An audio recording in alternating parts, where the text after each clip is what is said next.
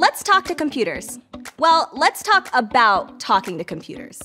We're going to learn about natural language processing, or NLP. Welcome back to the AI generation. I'm Dominique Weatherspoon.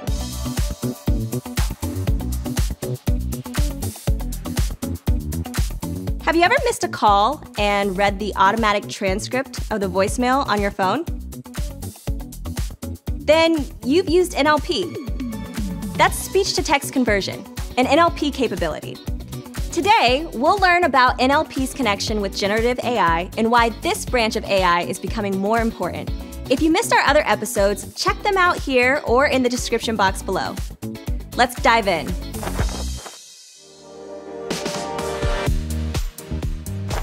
We no longer have to talk machine to talk to our machines.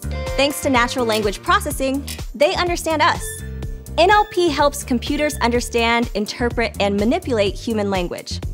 It fills the gap between human communication and computer understanding by drawing on a variety of techniques including computer science and computational linguistics. In general terms, NLP tasks break down language into shorter, elemental pieces. Try to understand relationships between the pieces and explore how they work together to create meaning. This is a growing and ever improving field that can provide huge benefits to companies navigating the world of unstructured data. So, what do we mean by unstructured data? Consider a large bank or insurance business. Well, they get feedback from customers in multiple ways. They have data from call center notes, surveys, reviews, voicemails, you name it. Most of this data goes unused currently. But imagine having it all analyzed, understood, and organized in a way that can help drive the business forward. That is what NLP can do.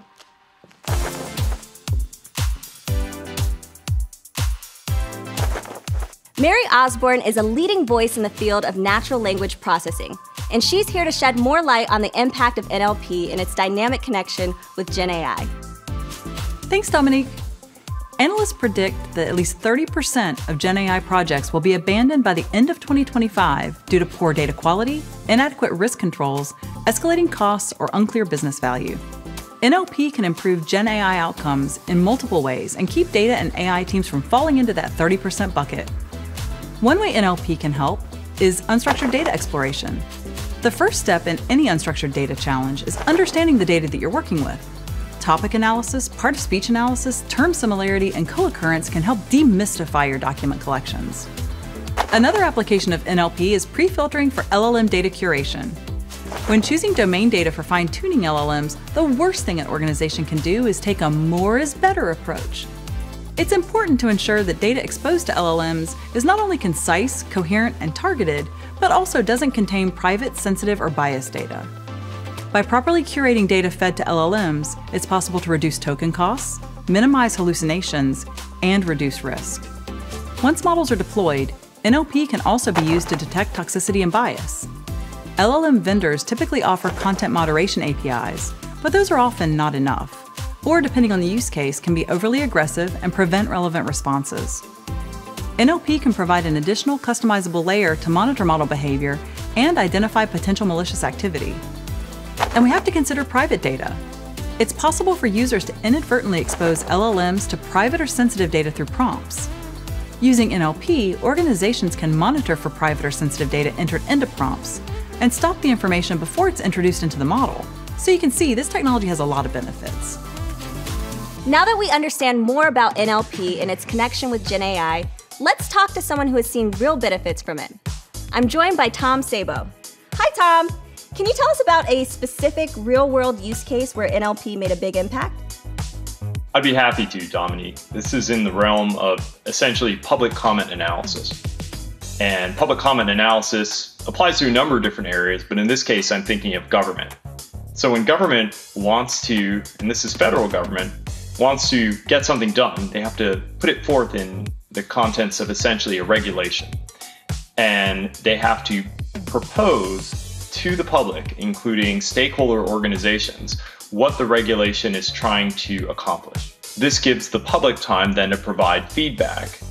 So, for a very recent regulation that I worked on, there were 40,000 individual statements that essentially had to be sorted into one of 200 different aspects of the regulation that the government and client agreed on.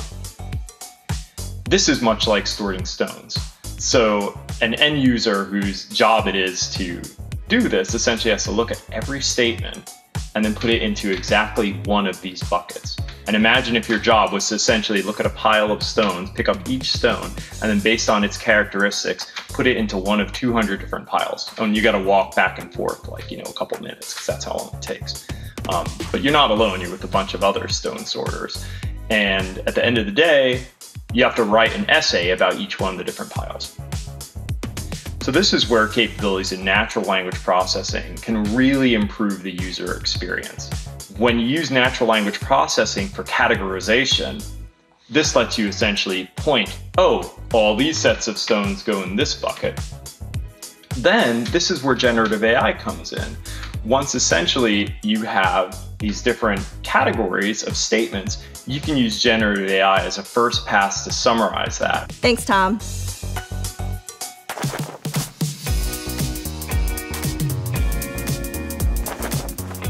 Natural language processing is an important and fascinating branch of AI. As Gen AI continues to become more prevalent, NLP has to be a part of that conversation. No pun intended. If you'd like to dive deeper in this field, make sure to check out the resources linked in the description below. Have a question? Add it to the chat. That's it for now on the AI generation. See you next time.